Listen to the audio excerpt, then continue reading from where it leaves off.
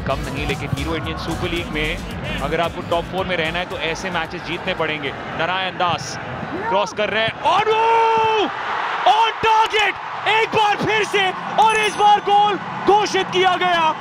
Martin Perez गुएदेस है तैयार corner के लिए। लंबे कद के खिलाड़ियों की कमी है इस वक्त आरिदाना की गैर मौजूदगी में। एक बार फिर से इस हाफ़ के खेल में ओडिशा उड़ान ले रही है।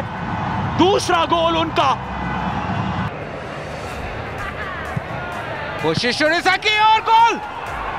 कहानी खत्म नहीं हुई है। ओनवू तीसरा गोल दूसरे मैच में। अगर एक तरफ़ कृष्णा ने हैट्रिक डाला तो मैनुअल ओनवू ने हौसला दिलाया उड़ीसा को। ओनू बॉल के साथ, जिसको नंद कुमार शेखर का विकल्प मौजूद लेफ़्ट फ्लैंक पर। नंदा।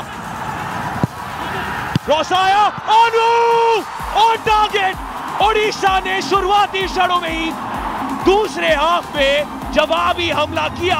कलिंगा वॉरियर्स का वार एक एक की बराबरी, एक अहम अहम गोल यहाँ पर। जिसको का कॉर्नर इसी बीच और वो मार्टिन पेरेस उम्मीद की किरण अभी भी जगी हुई यहाँ पर उड़ीसा के लिए।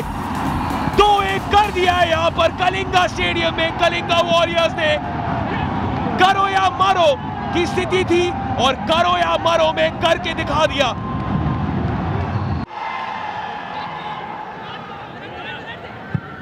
जेरी की बॉल इसी बीच ऑनवू के लिए। एक शून्य। शुरुआती क्षणों में ही चार मैच। पाँच गोल ओनवू के नाम। ओनवू तैयार है फ्री किक के लिए। मार्टिन पेरेस गुएदेस के साथ।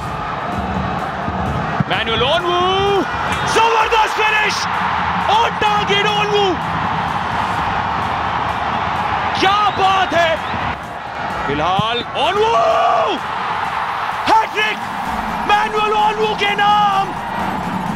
तीसरा हैट्रिक इस सीज़न।